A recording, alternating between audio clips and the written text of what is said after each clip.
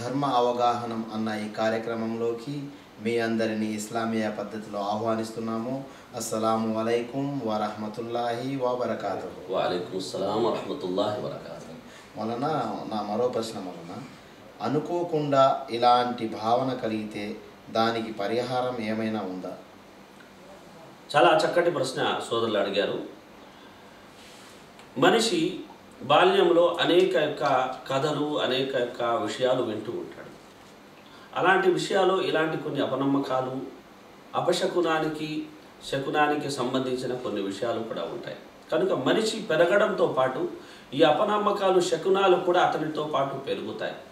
అతను తన విశ్వాస స్థాయిని పెంచుకున్నప్పటికీ అప్పుడప్పుడు ఒక పిల్లి మన ముందు నుంచి వెళ్ళినా లేదైనా ఎవరైనా తుమ్మినా అది ఏమన్నా చెడు జరుగుతుందనే ఒక భావన కలిగే అవకాశాలు అయితే ఉన్నాయి. ఎందుకంటే దాని తాలూకు యొక్క గుర్తులు మన బాల్యం నుండే మనలో పెనవేసుకుని ఉన్నాయి కనుక అలాంటి భావన కలిగే ఒక అవకాశం ఉంది.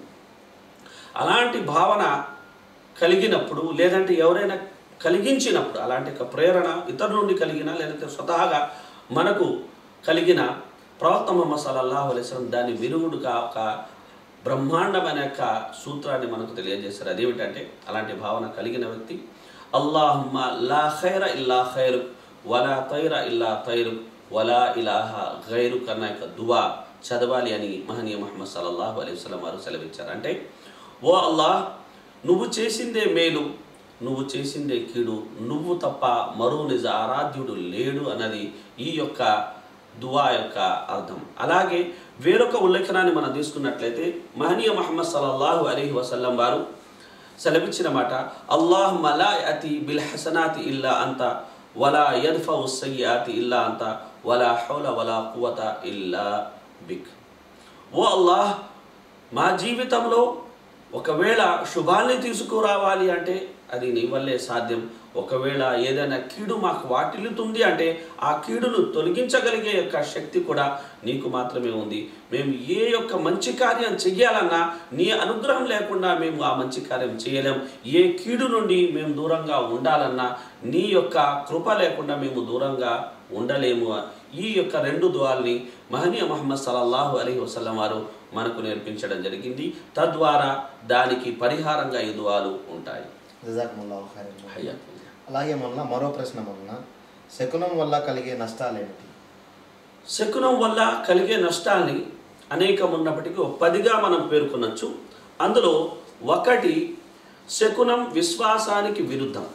రెండవది శకునం వల్ల కీడు సోకడం కానీ మేలు కలగడం కానీ జరగదు కానీ మనిషి మాత్రం ఆ విధమైన యొక్క భావనకి లోనవుతాడు. శకునం బు బుద్ధి మాంద్యానికి వివేక శూన్యానికి నిదర్శనంగా ఉంటుంది. శకునం ఆందోళనకు చపల చిత్తానికి ఆనవాలుగా ఉంటుంది. శకునం కార్య శూన్యతకు ప్రేరకంగా ఉంటుంది.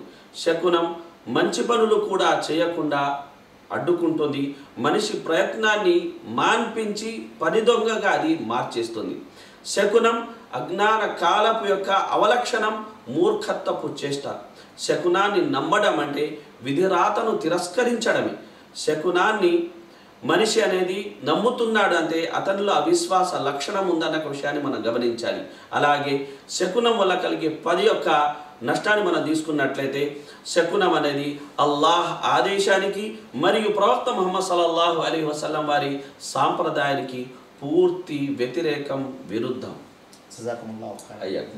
అలాగే మరో ప్రశ్న శకున భా శకున భావం కలిగి ఉన్న వ్యక్తి ఆ వ్యక్తికి ఏ ఆదేశం? ఆదేశం ఏమిటి మహనీయ మహమ్మద్ సల్లల్లాహు అలీ వసలం వారు సెలవిచ్చిన మాట ఏంటంటే మన్ రద్దతుహు తీయరతు అన్ హాజతిహి ఫఖద్ అషరక.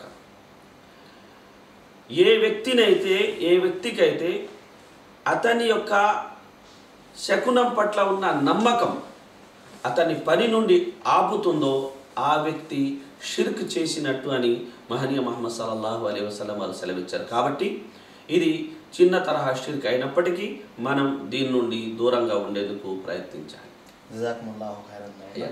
మరికొన్ని ప్రశ్నలతో మళ్ళీ కలుద్దాం. అస్సలాము అలైకుం వరహమతుల్లాహి వబర్కాతు.